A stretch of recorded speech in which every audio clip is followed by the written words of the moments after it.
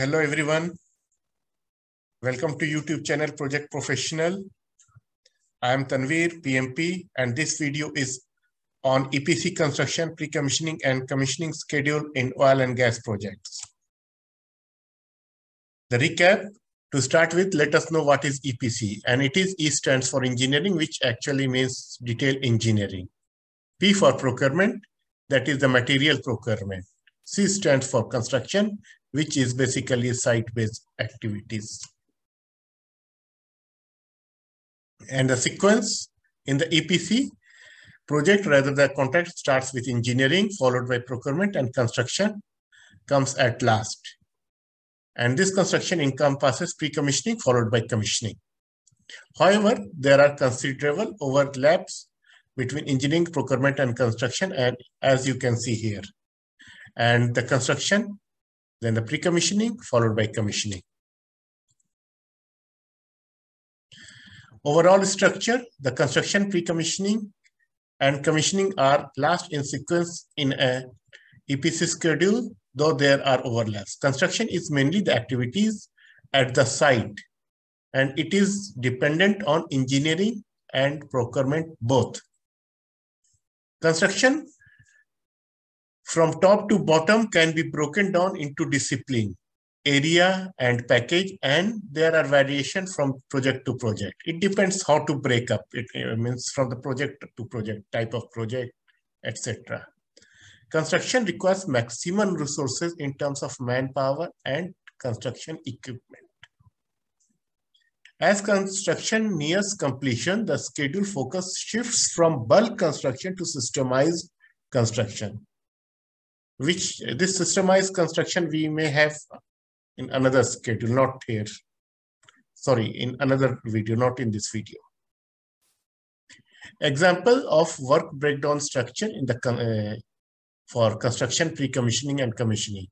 The construction uh, is broken in like civil and structural, sometimes civil, structural, and, and architectural, piping, mechanical, electrical instrumentation, etc. Which is further uh, like civil is further broken down into uh, excavation, concrete work, steel work, etc. There may be more, but these are all only example. Piping may be underground, above ground, uh, shop fabrication, site uh, erection, site welding, etc mechanical static equipment, rotating equipment, etc. Then electrical instrument, cable laying, instrument gauges, and all installation, etc. Pre-commissioning, it is basically the system-wise. Here, for example, has given feed system, uh, that is the input system, and product system, that is the output system. And this may include instrument, piping, pumps, etc. Okay so uh, so some of the common activities in pre-commissioning are like your uh, like uh, the pipe cleaning like uh, air blowing water flushing steam blowing uh, this uh, site acceptance tests etc those are the common activities of the pre-commissioning. Commissioning then is the last one. And commissioning we have like inerting circulation, feed, introduction, then uh, pro, uh, product to the storage like this. And as we see the pictorial example of EPC, engineering, procurement, construction for uh, with pre-commissioning and followed by commissioning overlaps, engineering, as we have seen in the previous videos, procurement also in the construction, civil, structural, piping, mechanical, electrical, instrumentation, and pre-commissioning. So one thing is there that, that pre-commissioning, uh, to start pre-commissioning, we have to do the mechanical completion and uh, mechanical completion maybe for the overall, maybe the system based, it depends. The exa uh, as this is a very much resource dependent construction. So example of resources in construction, uh, the, primarily the manpower and the equipment. In the manpower, we have direct and uh, indirect and direct manpower. Indirect manpower like managers, engineers, supervisors, foremen, etc. Direct manpower are like welder, welder of many types, fabricator, millwright, fitter, rigger, cable puller, technician, mason, manual excavator, etc. So many type of manpowers are there and depend on the project to project. Then equipment uh, like crane, excavator, dump truck, welding machine, generator, roller compactor, plate compactor, hydraulic jack, spray painting machine, uh, grinding machine, dewatering pump, plate bending machine, etc. So many equipments are there. Then there are consumables are also in the construction. There are many types of consumables used in the construction. Some uh, consumables incorporate into the work while others are supports. Some of the typical example of consumables are like diesel, welding, electro, grinding wheel, uh, argon gas, oxygen gas, etc.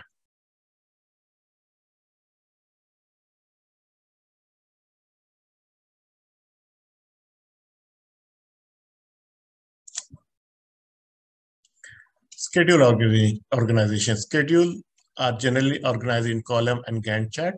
Schedule can also be organized in PERT view. Column in baseline generally comprises activity ID, activity description, early start, early finish, original duration, total float, etc. Column in update in addition generally includes start date, completion date, percentage progress, remaining duration, etc. Exa uh, pictorial example of schedule view. Uh, this is like uh, we have the uh, construction part, the milestones, uh, then the construction, construction into the various discipline like uh, civil, structural works, piping works, mechanical works, electrical instrumentation. Then we have pre-commissioning. this are into the system here. I, for, I, for just for the sake of example, I have provided feed system, product system, then commissioning, commissioning is there. And on the right hand side, the duration, the bars are there depicting the duration of those activities, overlaps, relation, etc. Baseline, update, recovery, and revise schedule. Baseline is the schedule prepared, reviewed, and approved and frozen to act as benchmark. Update is a copy of the baseline where activity, actual start progress, and actual completion are updated and run to provide overall progress and forecast completion. Recovery schedule is the revision of the update where the re remaining activities are so adjusted that slipped completion date is brought back to the original. When there is any change in scope or any addition or deletion in duration, the schedule is uh, adjusted accordingly and it is called revised schedule. Loading an assignment on the activities to perform a task in, in a particular time frame and, and activities require certain resources, daily working hours, work week, day, etc. Hence, resources like manpower and equipment are loaded to the activities. Similarly, particular calendar is assigned to activities and it may differ even at design of it and site. Also, weight, also the weight, cost, cost account categories are assigned to the activities. S-curve and histogram. Based on the weight and resource loading, S-curve and histogram are generated. Construction weight is generally less than procurement, but more but more than engineering. Pre-commissioning and commissioning, commissioning have generally least weight. The S-curve and histograms generated from baseline are the benchmark to assess the progress. S-curve and histogram generated from the update are actual and are compared with those taken as benchmark.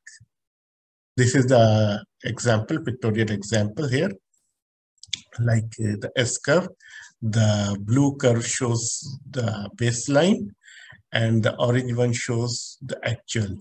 So the actual is little bit less than the uh, planned and the, from the baseline, that means the project is, uh, is behind the schedule.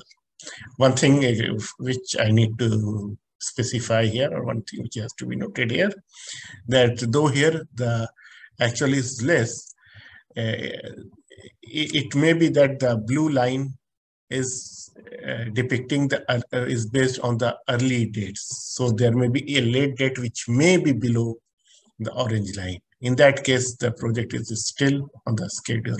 But uh, taking in, in general the baseline, the orange line is below that means project is behind the schedule. Uh, similarly here, if we see the white is behind and uh, here also the blue, uh, this bar shows the planned manpower and uh, uh, the orange one shows the actual and we see the manpower is less. So one of the, uh, the probable reason is maybe that because less manpower is available, so the progress is low and it is behind the schedule. Uh, and then at the last, we will see how we progress the activity. So we have to go a little bit back. Uh, like uh, as we have seen that construction has more weightage than uh, procurement, uh, less the weightage than procurement and more weightage than engineering. So say, for example, the construction has 30% weightage. So it is again broken down into the component. This this 30% is with respect to overall project as 100%. So this 30% is further broken. For example, the civil uh, structural and architectural 9%, piping 11%, and electrical 10%. For example, this is only for the sake of example. This is further broken uh, into excavation, backfilling, and RCC work and pipe rack work. Okay, that is steel pipe rack. Then piping also, we have broken it down, fabrication, mixture of fabrication, fill erection. There are many other ones, but just for example, we have taken. Electrical is cable cabling, and overall is 10, 3% we have taken, means 7% there are other ones. Then against the weightage assigned, we have the scope, like uh, excavation is 10,000 cubic meter, piping is maybe 100,000 inch dia, fabrication, etc. So what we do, as we progress, uh, uh, say after some times, we have done the excavation, say 1000. This is 10% of the uh, scope. So what will happen? The way, in the terms of weight, we will have uh, 0.05 because 0.5 is the 100% of 10,000. So if we progress 10%, 0.05. Then again, say backfilling is 300 cubic meters. So it will be 0.1 because 10% of 0.1 because 300 is 10% of 3000. Uh, similarly for this uh, pipe rack and uh, RCC work like fabrication, 100,000 inch dia corresponds to 6%. So suppose we have done that 20% of that means 20,000 inch dia we have done the shop fabrication means it will be uh, uh, 1.2